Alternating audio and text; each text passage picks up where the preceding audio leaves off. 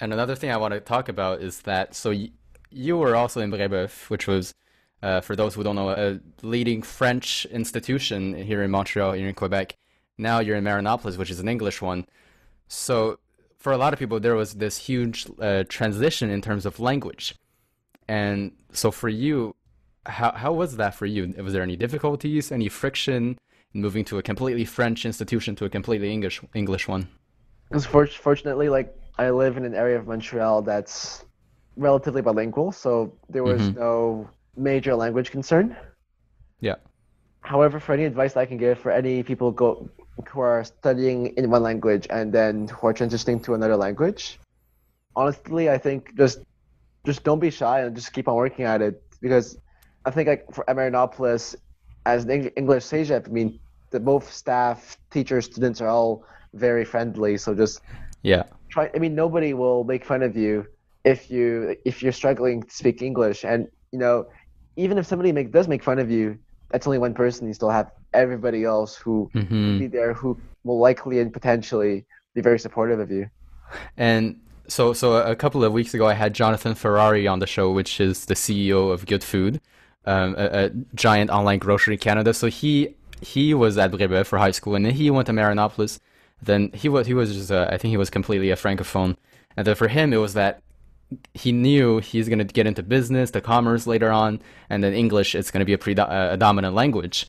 So he decided to you know get out of his comfort zone and just just get at it because he knows he's going to work in English, and then he just did it. And then he, he said it's a it's a thing that a lot of people should experience, uh, having such a dramatic change in your day to day things that you do, right?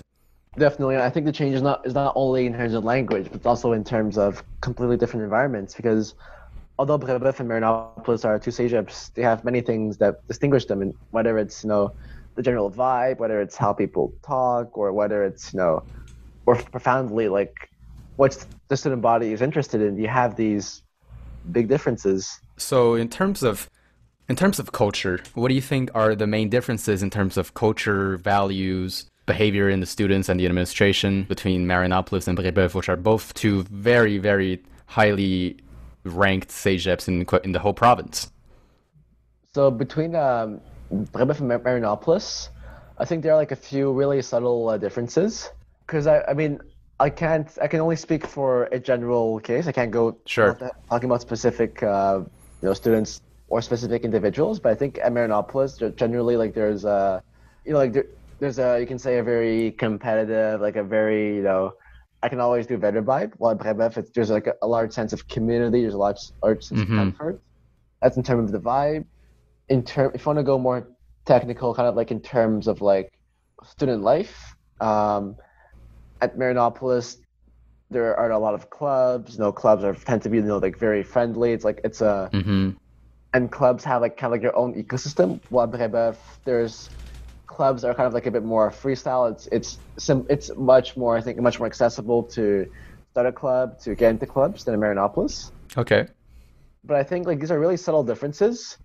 But the main idea is that you know differences are crucial. I mean, if if all CEGEPs were the same, there would be you know there would be like no innovation. There would be like no diver- no uh, diversity in creating new things. These CEGEPs are like are so different. You can you, you, can like get together and like create some things that nobody have, has ever done before.